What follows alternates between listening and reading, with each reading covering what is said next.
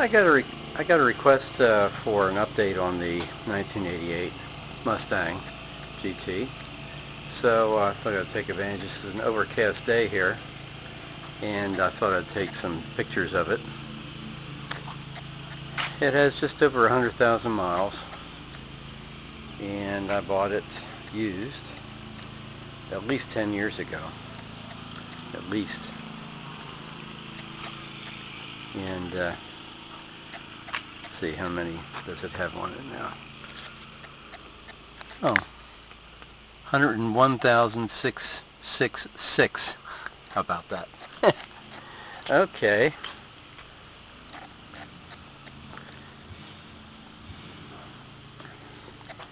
The little blemishes there are insects. I just mowed the grass and I disturbed them so they're not pleased.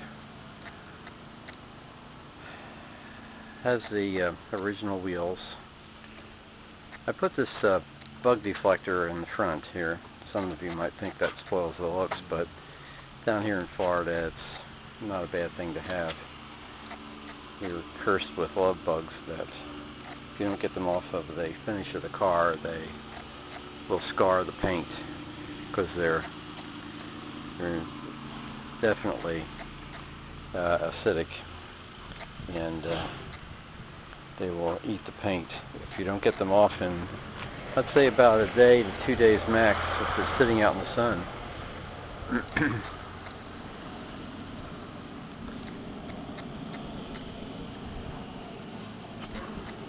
the uh, hood and the front bumper area was painted during my watch.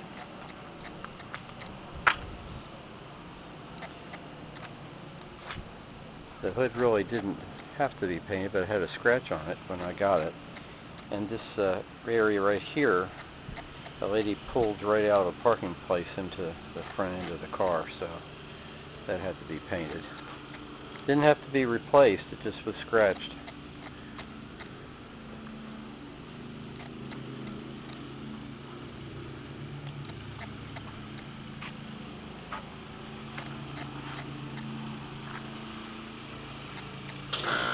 I replaced the tires twice on it. It had about 60 some thousand miles when I got it. So I put quite a few miles on it.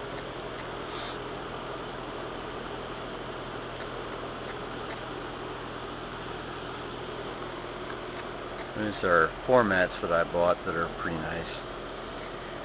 Uh, it's the original carpet, as far as I know.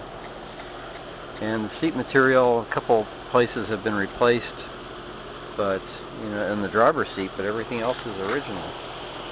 It's leather, so you know how leather has a tendency to crack. Here's a Ford. Uh, has a Ford on the uh, little jacket, so it's a Ford mascot there. take you around back. This is a nice thing. This is a, a there's a release for this in the glove box, and that's a good thing. You don't need a locking gas cap because of that. Okay, let's show you that. Door panels original.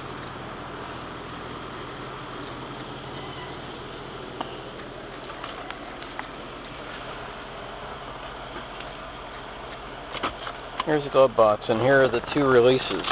Top one is the uh, trunk release. It's electric solenoid, and this one here, you get to hear it click. That's the.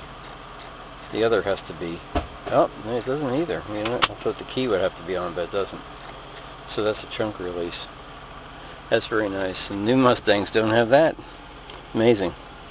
How some features are standard in one model and then in other models, brand new models, they don't even have the feature. So I don't really understand, but I guess there's not enough of an outcry. They're missing it. Okay. Convertible top works fine. As far as I know, it's the original convertible top. It could stand replacing. We have some cracking here. And It's worn here where it goes down inside here. But uh, other than that, it's in good shape, so I'm not going to replace it yet. It's a glass back window, which is very good. I had a 64 Dodge Dart convertible, brand new, and that within three, four years, that back window on that started to turn brown as the oil in the vinyl window came to the surface. Now these hands here I just put on the back as decoration. Now a couple tray tables here and this is the cover for the boot in there in case I make it to the beach. Some beach towels and stuff. Not a lot of room back here but in convertibles you usually don't. so that was uh, automatically triggered when I pushed that button to open the, the uh, trunk lid. Okay, let's go around the driver's side.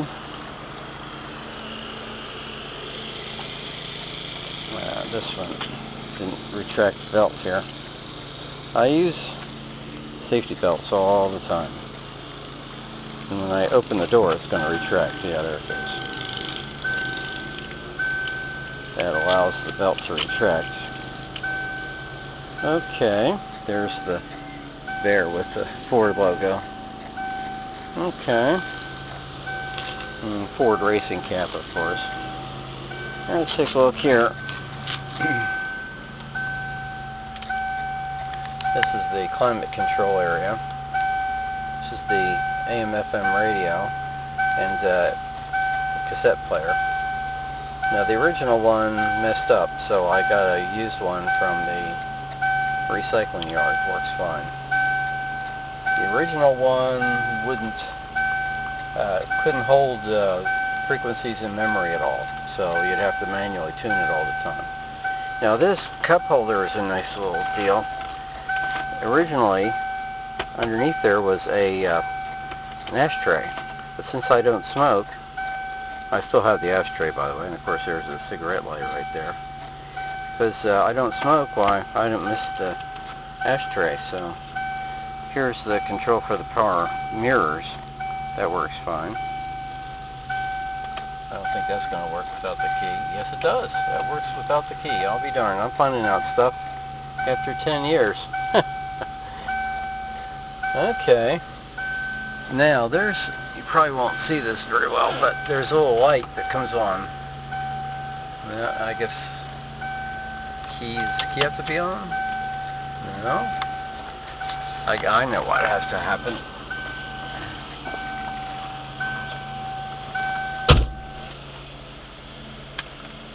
Well, that's funny.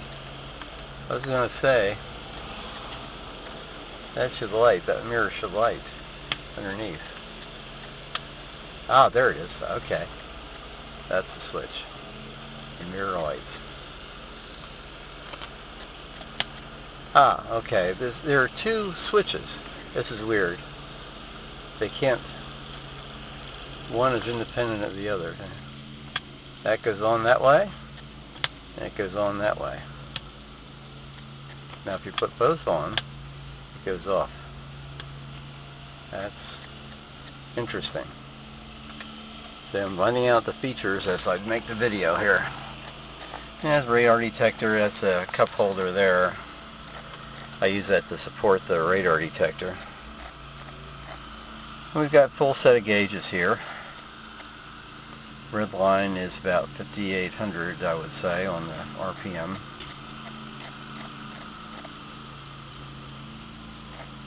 All the gauges are fine.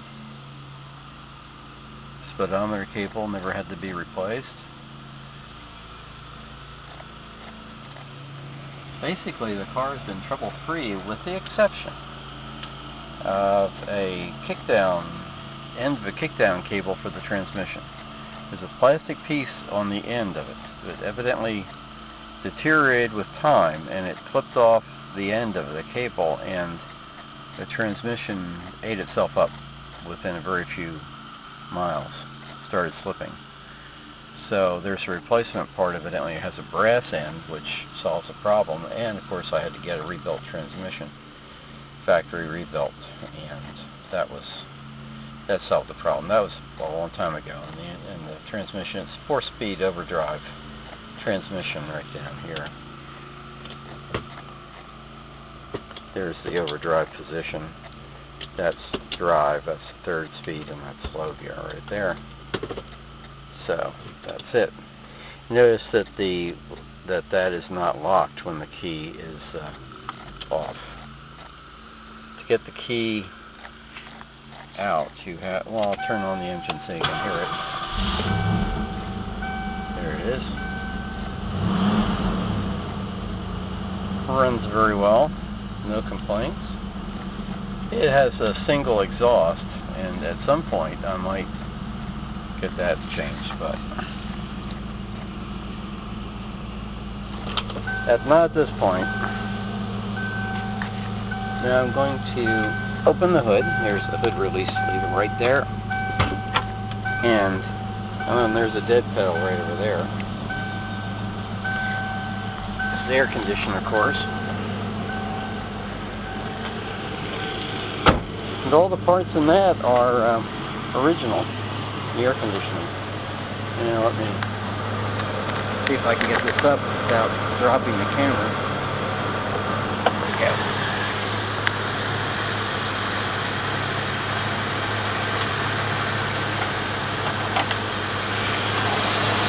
There it is. Everything's original here, except for the battery. Nice and smooth, really.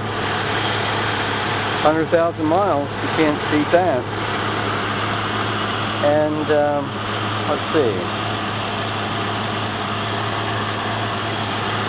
Oh yes, I, uh, the underhood pad. I replaced that. That got pretty ratty looking. Notice we have a light that goes on when you open the hood. And uh, we've got a, I don't know if you can see that very well, it's a Mustang imprinted there. It's raised on the hood pad. Pretty cool. The original did not have that.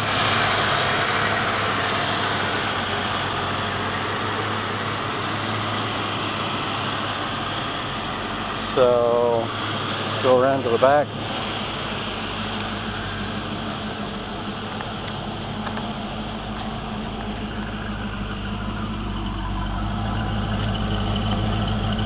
And you can see the exhaust right there.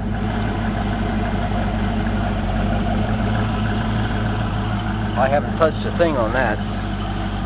Someday I probably do something about it, but not at this point. Okay, this here is a limited, see all these doggone bugs.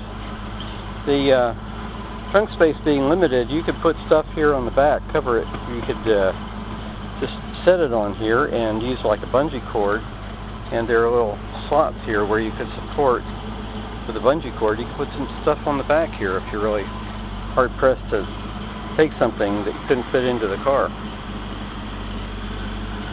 I like these taillights.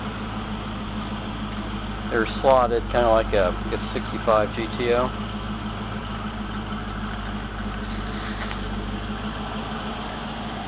And I'm going to turn her off.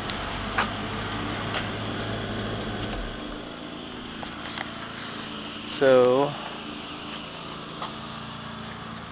that's the 5.0. and I can testify it runs well. Oh yeah, one thing was replaced here is the alternator. That's a new alternator. That went out some time ago. Okay.